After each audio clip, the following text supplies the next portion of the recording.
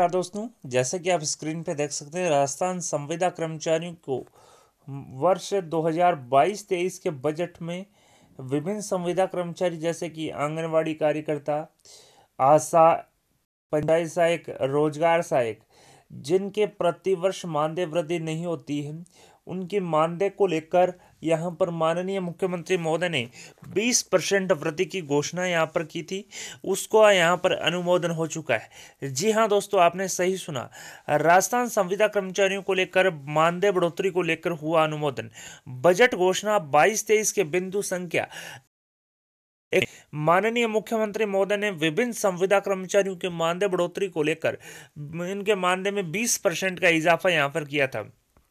जैसा कि आप देख सकते हैं, बजट घोषणा 2022-23 के बिंदु संख्या 128 के अनुपालना में ग्राम पंचायत सहायकों के मानदेय में 20 परसेंट की अभिवृद्धि किए जाने के संबंध में अनुच्छेद इकतालीस एन में प्रशासनिक अनुमोदन यहाँ पर हो चुका है।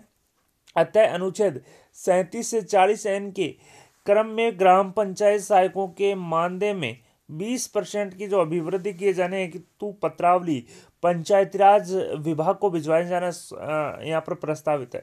जिसमें आप देख सकते हैं यहाँ पर स्कूल शिक्षा विभाग, इसके अलावा प्रमुख शासन सचिव, ग्रामीण विकास विभाग द्वारा चार मार्च 2022 को यहाँ पर अनुमोदन कर दिया है। तो दोस्तों यहाँ पर पंचायत सहायकों के मानदेय में 20 परसेंट का इजाफा होने का जो आदेश है, वो जल्द ही यहाँ पर जारी होने के आशा है।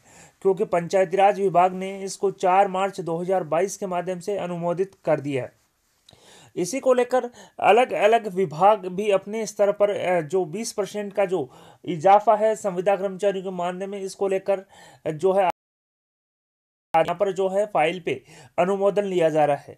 वीडियो पसंद आए तो अपने दोस्तों के साथ लाइक और शेयर करना ना भूलें।